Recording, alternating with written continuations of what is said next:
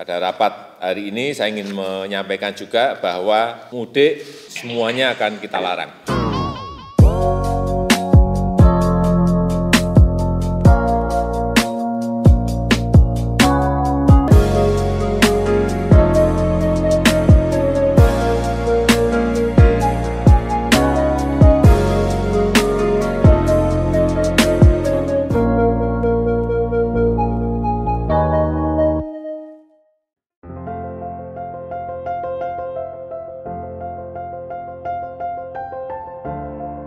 Saya ingin mengenai bantuan sosial secara besar-besaran dimulai di DKI terlebih dahulu, kemudian Bodetabek, dan nanti di daerah-daerah yang lainnya.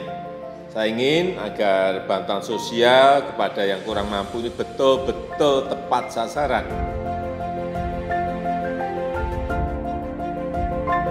Saya ingin mengambil sebuah keputusan setelah larangan mudik bagi ASN, TNI Polri, dan pegawai BUMN sudah kita lakukan. Pada rapat hari ini saya ingin menyampaikan juga bahwa mudik semuanya akan kita larang. Pastikan ketersediaan bahan pokok, hitung yang betul berapa produksi beras kita, kemudian perkiraan produksi beras pada saat masuk ke musim kemarau.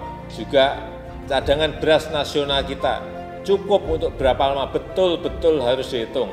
Jangan overestimate, tolong dikalkulasi yang cermat, dihitung yang detail.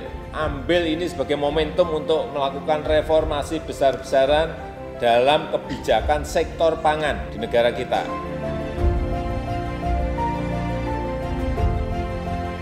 Pada kesempatan yang baik ini, saya ingin menyampaikan tentang Omnibus Law, tentang rancangan Undang-Undang Cipta Kerja yang sekarang ini sudah berada di DPR. Bahwa klaster ketenaga kerjaan dalam RUU Cipta Kerja ini pembahasannya ditunda. Ini sesuai dengan keinginan eh, pemerintah. Hal ini juga untuk memberikan kesempatan kepada kita untuk mendalami lagi substansi dari pasal-pasal yang terkait.